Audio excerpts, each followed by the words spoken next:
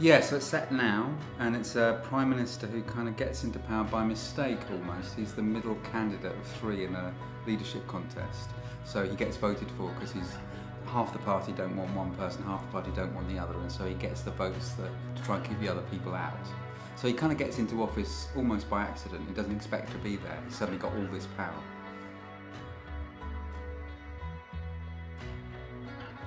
I think just watching the scenes take place in rehearsal take shape, it's really clear how fast and exciting they're going to be. Each scene feels really sharp and has a journey to it and has a tremendous charge to it in the in the rehearsal room. So I'm very hopeful that that will transmit to the stage when we've got the whole thing up and running fast.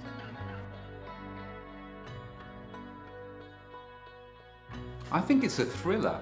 He comes to he comes to power with these ideals, with this absolute determination to put his ideas into practice, to change the country, to make things happen. And part of that is renegotiating or drawing up a new contract with the press, starting from scratch, only talking about policy, not talking about personalities.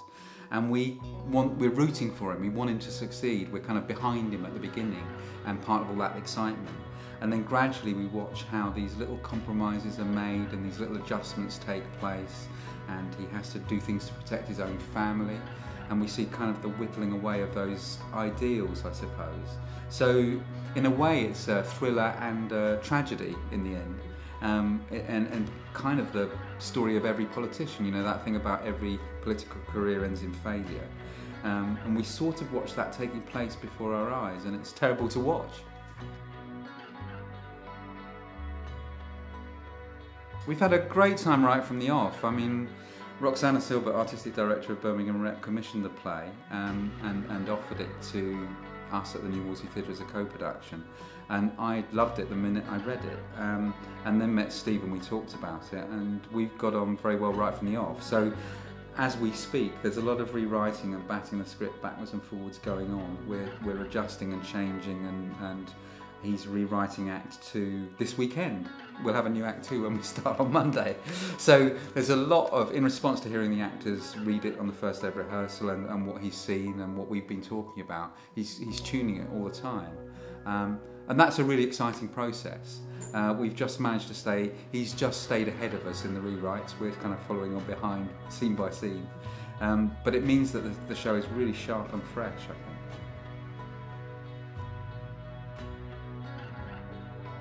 Well, it's obviously a critical time in terms of the relationship between all of us and our politicians. And politicians are held in more contempt than they've ever been, I think. Um, and I think the play attempts to describe why it's such a difficult job, why hanging on to your ideals and getting something done in the way that you believe it should be done is so difficult.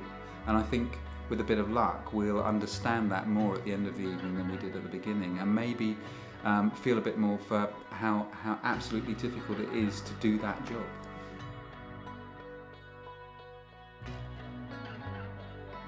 Uh, fast and furious and funny.